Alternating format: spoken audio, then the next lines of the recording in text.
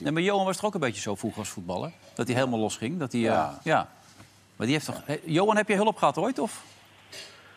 Nee, daar had ik misschien wel behoefte aan gehad. Maar eh, ja, het wordt wel eens overdreven. Zo'n, wat die Letje doet, dat kan niet. Net zoals wat die trainer van Vitesse doet, dat kan niet. Het is leuk en het is flamboyant en het is kleurrijk. Maar het kan niet.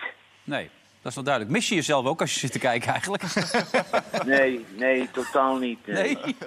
Nee, nee, nee. Ik begrijp niet dat hier 800.000 mensen naar kijken. Dat die onzin, hoor. Nee, maar daarom de vraag, mis je jezelf met, met je opmerkingen, je aanmerkingen enzovoort? Nou ja, ik, ik mis me op vier posities aan die tafel. Sorry? Wat zei je nou? Vier posities. Ja, maar hij is op hoofd gevallen. Hè? Oh, hij is gevallen, ja. nou ja, We moeten het nog even met een korreltje zout ja, doen. kijk, Wil je niks missen van Veronica Insight? Download nu de Veronica Insight app. En snel!